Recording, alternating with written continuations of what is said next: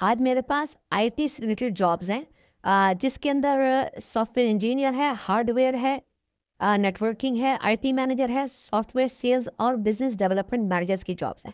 मैं नीचे मेंशन भी करने लगा हूँ और साथ में कमेंट्स में भी आपको इसके लिंक प्रोवाइड कर दूँगा।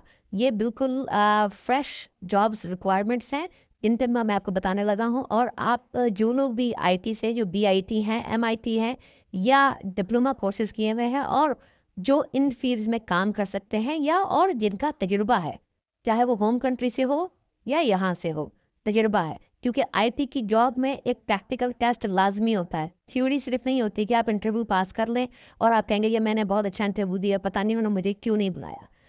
इंटरव्यू पास करने के बाद डेफ़िनेटली एक प्रैक्टिकल टेस्ट होता है। अगर आपने काम किया होगा तो आप पास कर सकेंगे और अगर आपने काम नहीं किया होगा तो आप फ़ेल भी हो सकते हैं। तो इस जॉब्स के लिए जो आईटी ग्रेजुएट्स हैं, वो अप्लाई करें या जो डिप्लोमा होल्डर्स हैं, जिन्होंने कुछ ऑलरेडी आईटी में अच्छा कुछ किया हुआ है।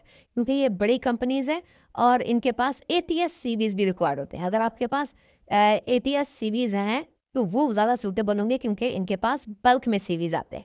तो इन लिंक्स पे जाएँ, इनकी पहले वेबसाइट्स को भी चेक करें, इनके रिमार्क्स देखें, इनका रिव्यूज़ पढ़ें और फिर उसके बाद अप्लाई करें।